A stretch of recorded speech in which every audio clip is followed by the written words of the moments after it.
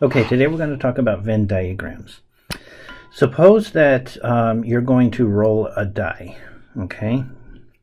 That's going to be our experiment. Suppose we, whoops,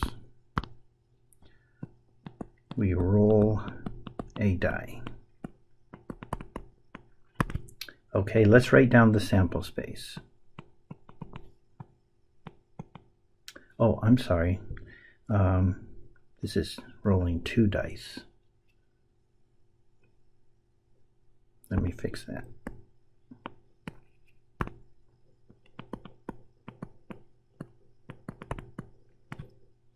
And let me just be more specific and add the two numbers together.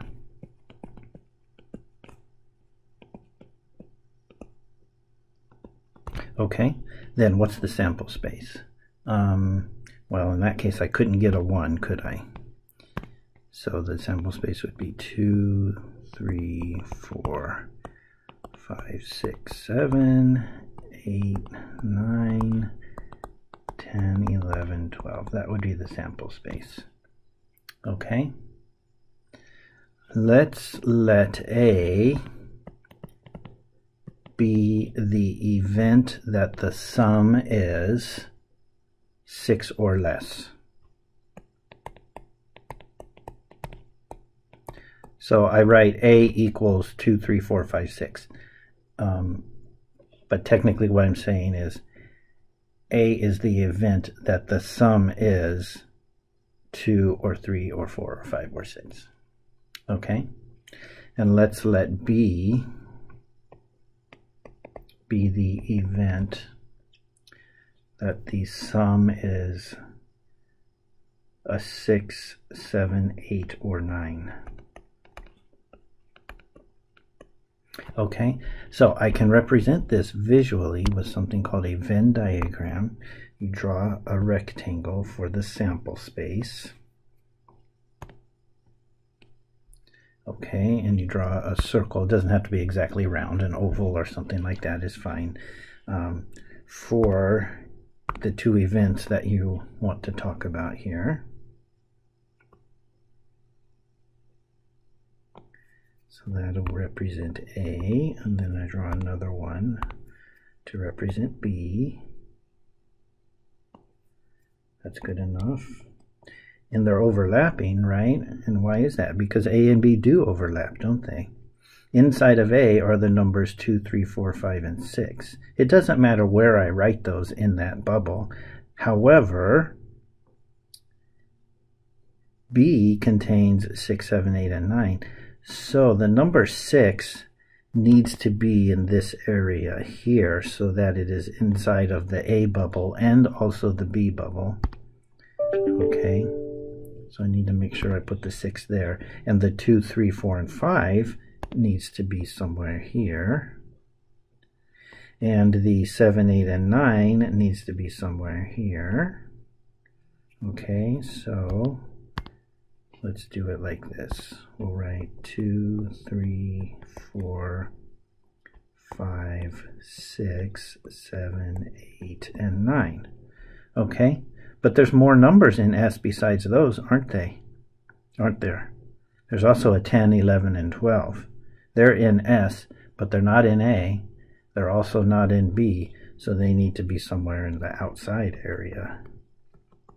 Doesn't matter where. So there you go. That's called a Venn diagram. Okay? And what does this area represent, by the way? That represents the intersection of A and B. You see the intersection of A and B is the set consisting only of the number 6. What does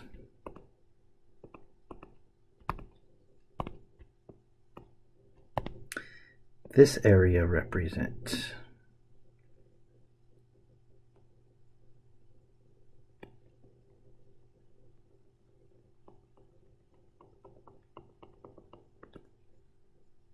That's the union of A and B. And it's containing 2, 3, 4, 5, 6, 7, 8, and 9. Okay?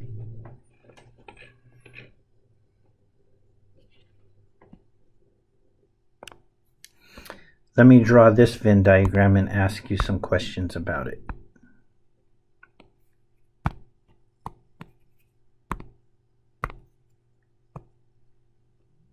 A Venn diagram doesn't have to have two bubbles. It can have more or less. It all depends on how many events you're talking about. Now, what if I drew this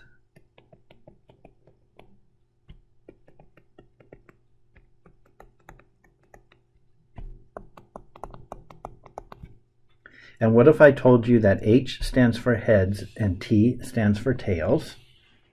Then I suppose there might be more than one answer to this question, but I think I think there's one obvious answer. The question I ask you is what do you think that experiment is? So there's four possible outcomes. Heads heads, tails heads, tails tails, and heads tails. So obviously that experiment must be somebody doing what? Flipping a coin. Okay? Now, look at what A is made up of. A is made up of tails, heads, and tails, tails, right? Let's go ahead and write that down. A is the set containing tails, heads, and tails, tails.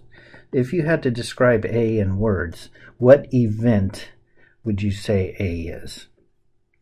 I suppose you could say A is the event of tails heads or tails tails, but there's a much simpler way to describe it. Can you think of the way? I would say A is the event of getting tails on the first coin. That's what I would say. Oh, by the way, I said they're flipping a coin, right? I forgot to say the word twice. They're flipping a coin twice. Or two different coins. But it's better, I think, to say flipping a coin twice because if you're flipping two different coins, that's that's perfectly fine, and this in this experiment might be that. But then you have to decide of those two coins which one is going to be called coin number one and which one's going to be called coin number two to think of it as flipping the same coin twice is a little bit easier because then there's actually a first and a second. Okay, so in this case, I would say A is the event of getting tails on the first flip. How would you describe B? B consists of tails, tails, and heads, tails. So how would you describe that event in words? I would say B is the event of getting tails on the second flip. What is A intersect B? It contains only tails, tails. So what's that event? Well, that's exactly what it is. It's the event of getting tails twice. And what is A union B? It contains tails, heads, tails, tails, heads, tails. How would you describe that event in words?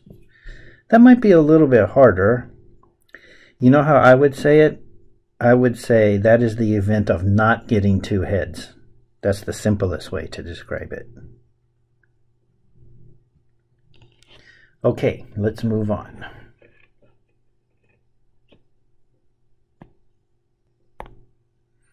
All right. I don't know if these numbers are accurate or not. I'm just taking them right out of the book. This is going to talk about blood types and whatnot. You know how when you find out your blood type, there's a letter and a positive or negative sign, right? The letters can be O, A, B, or AB. That's what's called your blood type. It's the letter. And then the positive or negative that goes with it is called the RH factor. Okay? Now, this information on um, page 166, well, it actually starts on 165, is example 3.29. Okay, here's what they say. They say that, again, I don't know if this is accurate or not, it's just what's written here. It says that, uh, well, this part I know is accurate. It says if you have O negative, so your blood type is O and your RH factor is negative, then you can donate blood to any person with any blood type or RH factor. Okay? It says here 4% of African Americans have blood type O and a negative RH factor. So that's 4% of African Americans have O negative blood. And then it says, we're going to go with this number. It says 5 to 10%. We're going to just go right in the middle and say 7.5% of African Americans have a negative RH factor 51% have blood type O. I better write this down. It's a lot to remember. Okay. So it says 4%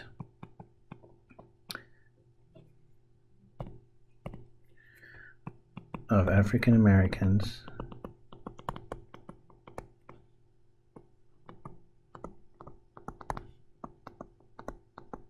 have O negative blood. It says seven and a half percent. Again, it technically says five to ten percent, but I want to use a single number here, so we're going to just take the average of those. Okay, seven and a half percent of African Americans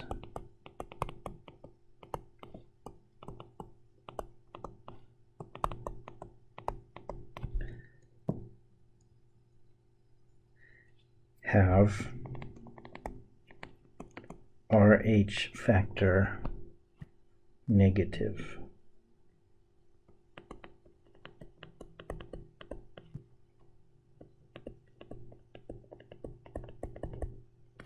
blood. And the third piece of information is 51% of African Americans have type O blood.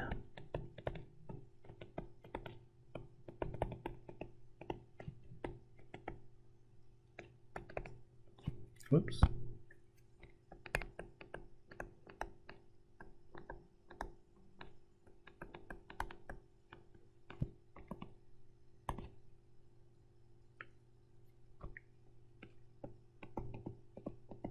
Okay, so what I want to do with you is make a, Venn diagram for this and answer a few probability questions. Okay, so let's make a diagram here.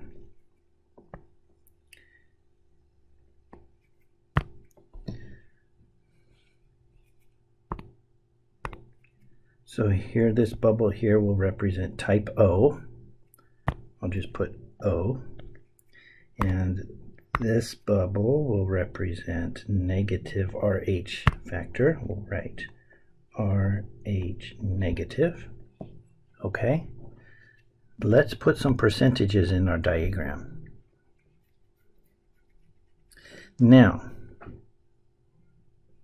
it says, let's start at the bottom it says 51% of African Americans have blood type O. What if I wrote 51% here?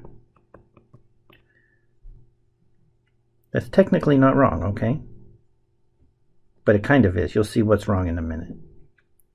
All right, 7.5% of African Americans have RH factor negative blood. So what if I wrote 7.5% here? And then it says 4% of African Americans have O negative blood. Where would that belong? Well, that means type O and also RH factor negative, right? So that's the intersection that would go here. Do you see what's wrong here? According to what I've written, what percentage of African Americans would have type O blood? Well, according to what I've written, it would be 55%, wouldn't it? Because the 51% and the 4% are both in the O circle. So that's a total of 55%. It's not supposed to be, though, is it? It's supposed to be 51. You see, these people, this is what I'm trying to say. These people here that make up that 4%, they are also among these people, right? The 4% with O negative blood are part of the 51% with type O blood. See what I'm saying? So what I should do is, in the Venn diagram, of those 51% with type O blood, 4% of them are already accounted for there, which means out here, I should really be writing what? 47%. No, that's not right. Yes, it is. Sorry, doing my addition wrong. That's 47%. So now in the O bubble, what's the percentage? It's 51%. 4% of the O people have negative RH factor, which must mean that there's 47% of the population that has O blood but is not negative, so they would be what? They would be the O positive people. Okay, and that 7.5% should really not be 7.5%, should it? Let me put it back. Because what's the problem with that? then that would lead us to say that there's 11.5% with RH factor negative. Because the 4% of people, again, here, are part of that 7.5%. The way I have the Venn diagram written right now, I'm counting that 4% twice. I'm double counting them. I don't want to do that. This part out there should be only 3.5%. Now the Venn diagram is correct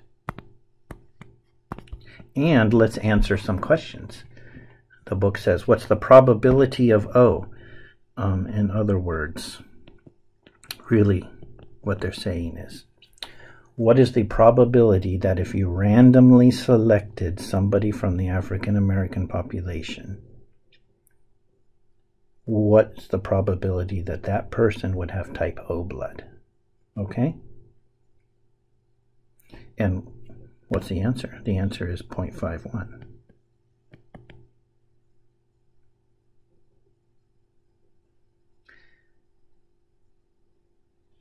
What's the probability of, so here they're getting in the book a little bit lazy, they're just writing R. Okay, that's fine. In the diagram, we'll change that just to an R.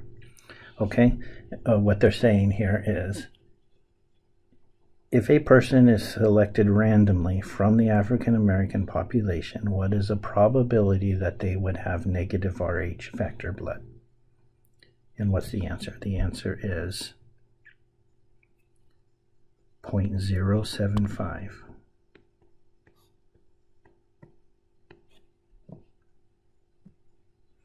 Okay, and then it asks, what's the probability of O intersect R?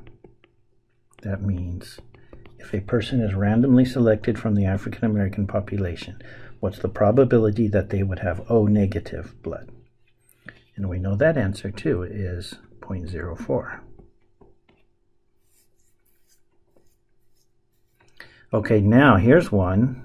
All of those answers are right there in the diagram, aren't they? Here's one that's not. It says, what's the probability of O union R. That means if someone's selected randomly from the African American population, what's the probability that they will have type O blood or negative RH factor? Well, that's all of this. So what do those add up to? That's 54.5%, right? So 0.545.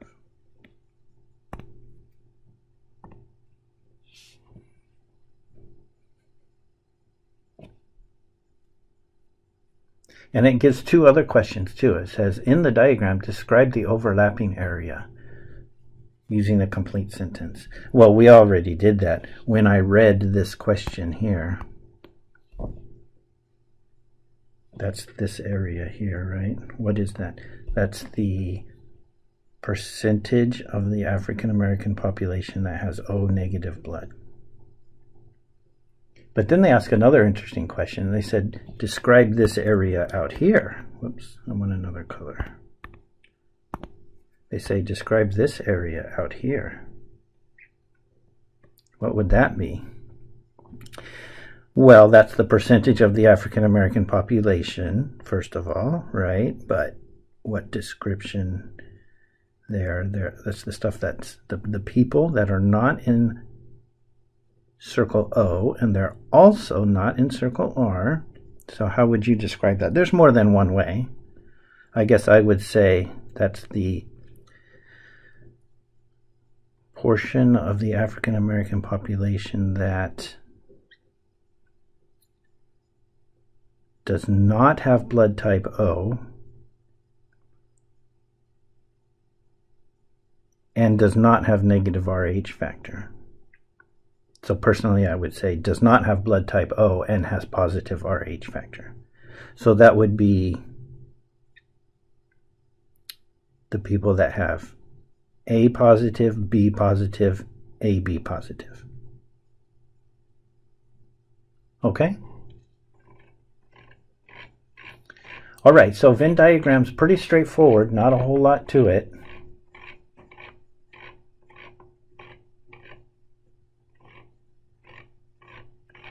I'm just quickly scanning through to see if there's anything more we need to do.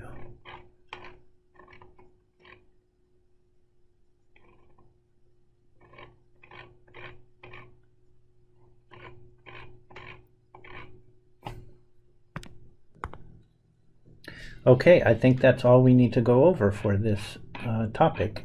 So have a good weekend, and I'll be back again next Monday.